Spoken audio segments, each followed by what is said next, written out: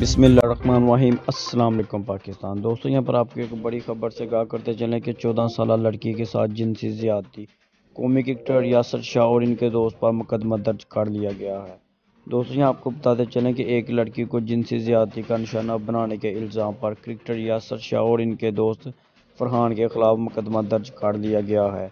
اسلام آباد کے تھانہ شالیمار میں قومی کرکٹر ٹیم کے بالر یاسر شاہ اور ان کے دوست فرحان کے خلاف ایک لڑکی کو جنسی زیادتی کا نشانہ بنانے کے الزام میں مقدمہ درج کیا گیا ہے۔ متاثرہ لڑکی کے ماموں کی مدعیت میں درج کرائی گئی ایف آئی آر میں کہا گیا ہے کہ یاسر شاہ کے دوست فرحان نے لڑکی سے فون نمبر لیا اور کچھ دن بعد دوستی کا دعویٰ کرنے لگا۔ فرحان لڑکی کی یاسر شاہ سے بھی واٹس ایپ پر بات کرواتا تھا۔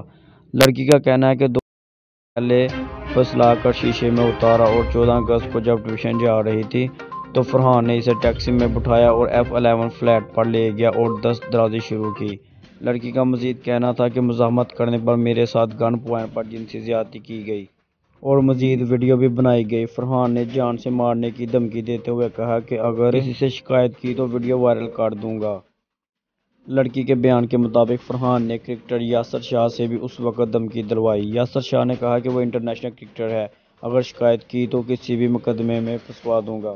ایف آئی آر کے مطابق چودہ ستمبر کو واٹس ایپ پر لڑکی نے جب یاسر شاہ کو سارے معاملے کے بارے میں بتایا تو انہوں نے مذاق اڑایا اور کہا، مجھے کم سن لڑکیاں پسند ہیں۔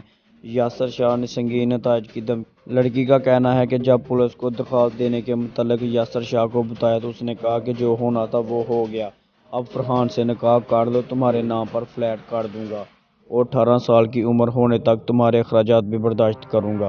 تاحال کرکٹر یاسر شاہ کا اس کے حوالے سے ابھی کوئی بھی تبصرہ سامنے نہیں آیا۔